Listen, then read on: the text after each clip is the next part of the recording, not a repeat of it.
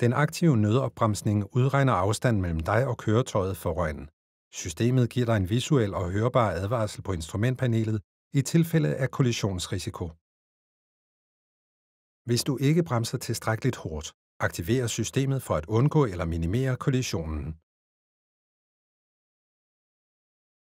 Systemet deaktiveres via multifunktionsskærmen og genaktiveres automatisk, når motoren startes igen.